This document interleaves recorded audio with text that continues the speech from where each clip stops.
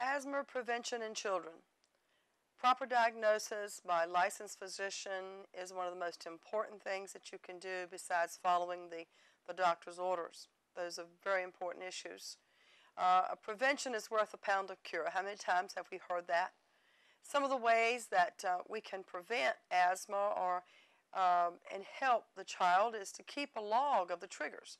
Uh, once you see what triggers uh, the asthma or the attack of asthma in the child, then keep a log of it.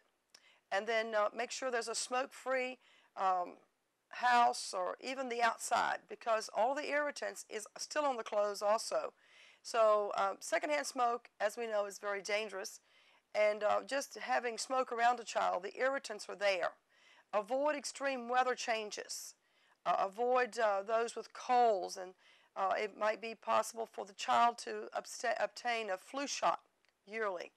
Uh, the bedding should be changed one uh, to two weeks. You should have clean uh, sheets and pillowcases uh, covered uh, with um, the wraps on them so that there will not be a lot of irritants or dust mites with, so the child will be able to breathe in a cleaner environment. pets with um, a small hair uh, so the dander won't uh, be on the child and in the air. Uh, a clean a residence or a clean place where the child sleeps and eats and crawls and plays. Uh, medications are very important that they're followed uh, exactly the way that they have been ordered by your physician.